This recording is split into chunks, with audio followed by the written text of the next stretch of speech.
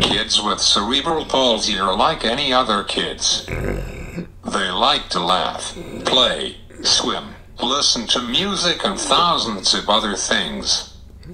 But why do people have the thinking that kids with cerebral palsy or another disability don't have a normal life?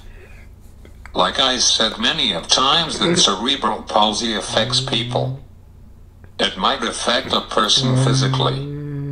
Sometimes it affects a person's intellect, or it might affect their health. So, am I contradicting myself? I don't think I am, and here is why. Majority of kids with cerebral palsy are smart, so they see other kids or talk to them.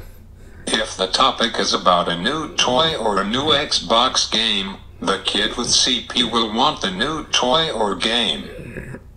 When I was growing up, I saw toys on TV, I wanted them. In the summer, I wanted to be outside where the other kids were. I loved going swimming even though my mom or dad had to hold me up in the water. My parents said to help me with most things. Kids with CP need help as well. I think that people don't realize that despite having cerebral palsy, kids are kids. They like doing things with their dad or mom. My dad likes baseball. So, while growing up, we played mm. baseball in the yard and saw the Chicago Cubs and the White Sox. My dad likes them both. Playing ball in the backyard was fun. Mm. We knew that I couldn't play on the team, and that was okay by me. I think that dads get disappointed when they hear that their child has cerebral palsy or another disability because their dreams of seeing their kid play sports disappear. Well, this is not exactly true. Why do I say this?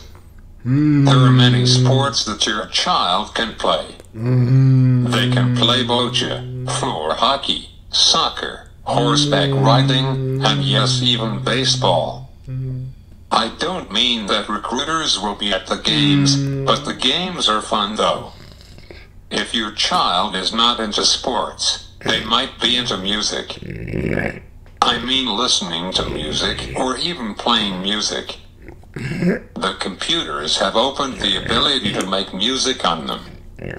Since the computers are accessible to people with disabilities, they might learn how to record music. I tried once to make music, but it was not my cup of tea.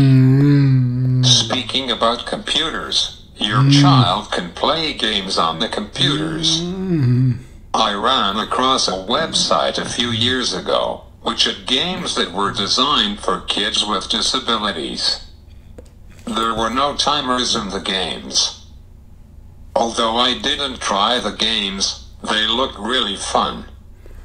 In conclusion, kids with cerebral palsy want the same opportunities as the next kid. Yes, kids with CP have different physical abilities or intellectual abilities, but why couldn't they have the same opportunity to be regular kids? My parents tried to give me a normal life as possible.